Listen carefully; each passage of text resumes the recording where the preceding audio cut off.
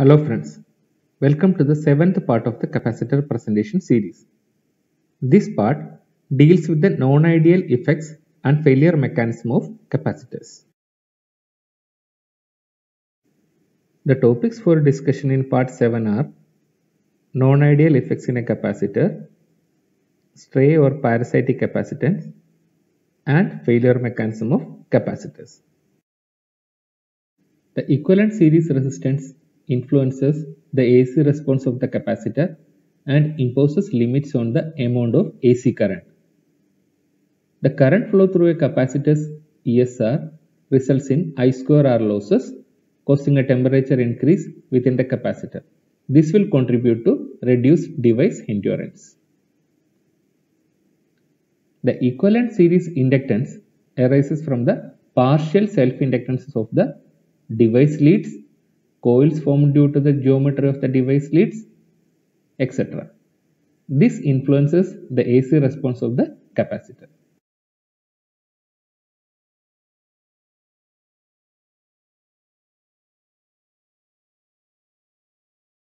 Leakage arises from the fact that the dielectric materials used within the capacitor are not perfect insulators and it will allow some amount of DC current to pass through the capacitor when a constant voltage is applied.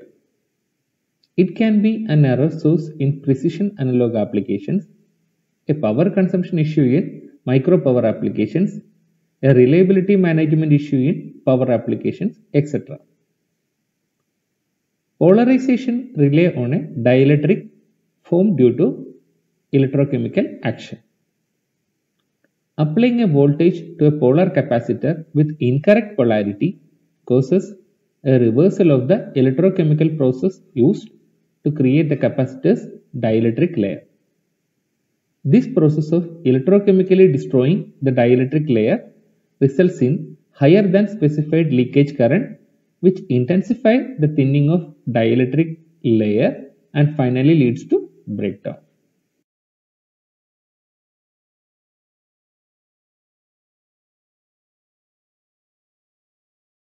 Dielectric absorption causes a capacitor to recover a percentage of its original charge after being fully discharged through an external path. The capacitor exhibits a voltage memory because the dielectric molecular dipoles need time to align themselves in an electric field. Dielectric absorption is the inability of a capacitor to release all its stored energy even if a dead short circuit is applied across its leads.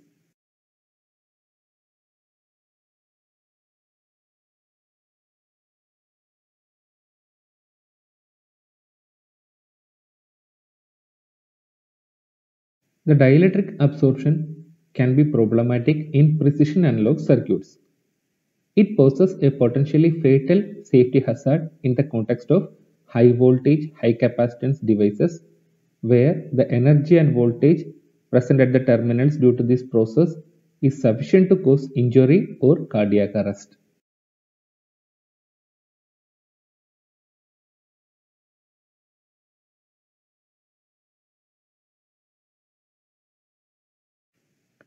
Microphonics and piezo effect are transduction mechanisms between the mechanical and electrical realms in a capacitor. The effects can be problematic when it results in unintended coupling of mechanical signals into an electrical circuit. This will become a noise source or an unintended feedback path. Application of voltage across a capacitor results in mechanical forces being applied to the electrodes that can produce audible noise. It is more strong in piezoelectric dielectric materials. Due to aging, some capacitor types exhibit significant variations in their characteristics. This can pose problems from the design, manufacturing or calibration perspectives. Parasitic capacitance is that type of unwanted, unavoidable and unintended capacitance that is induced in electronic components and circuits because of their parallel alignment. This causes their behavior or pattern to depart from ideal circuit elements. This unintended capacitance can result in the disruption of normal current flow within a circuit.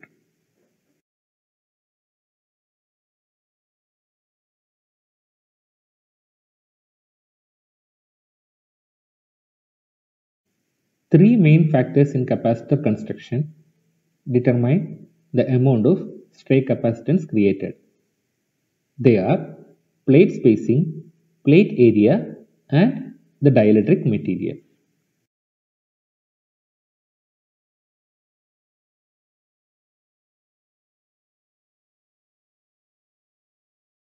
In high frequency amplifiers, the parasitic capacitance can combine with stray inductance to form resonant circuits leading to parasitic oscillations. For components like amplifiers, the capacitance between input and output can form unintended feedback path. The stray capacitance will also lead to crosstalk, EMI and other noises.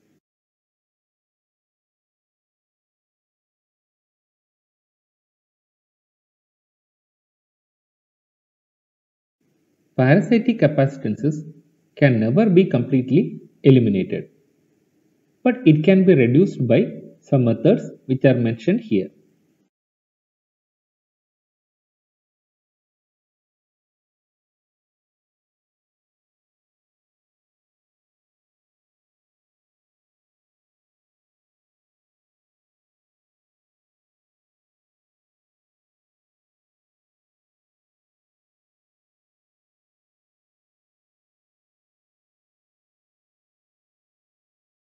Capacitors eventually fail either parametrically or catastrophically. In parametric failures, the device continues to function but has slowly degraded to a point where it no longer meets performance specifications. Catastrophic failures results in abrupt, dramatic shifts in device characteristics that result in out-of-spec behavior. Some of the contributing factors of capacitor failures are explained here. The first factor is dielectric breakdown. This is an electrical condition where the insulating properties of a dielectric material are unable to maintain the leakage current below a specified level.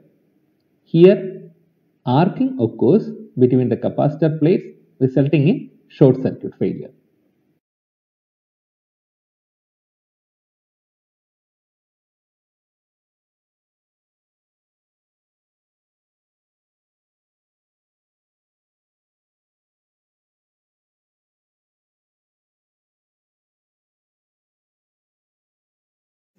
Sudden charging or discharging can be damaging to capacitors as the current depends on the rate of voltage change. Keeping idle for longer time and suddenly subjected to working voltage can result in capacitor failure, especially in electrolytic types. This is due to the dissolving of the gas film. In mechanical failures, the physical damage to a device is the proximate cause of failure.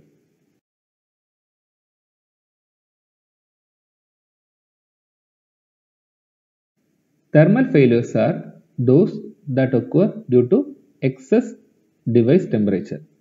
The excess temperature causes a dielectric breakdown and short circuit. Next is the dissipation factor or the power factor. When a capacitor is used to handle AC, particularly high frequency AC, then a poor power factor can cause self-heating because of the current flowing through ESR. A small amount of dissipation in a capacitor can be destructive and cause failure as the internal temperature will rise considerably.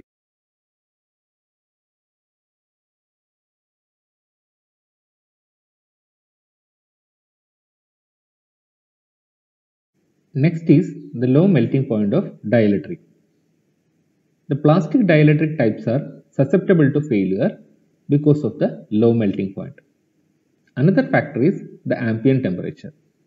The temperature around the capacitors must be controlled. One of the prime causes of capacitor failure is locating capacitors near high dissipation components such as resistors, transformers, chokes, etc. Now we can summarize. The main cause of premature capacitor failures are excessive voltage, excessive current or excessive temperature or the combination of all the three.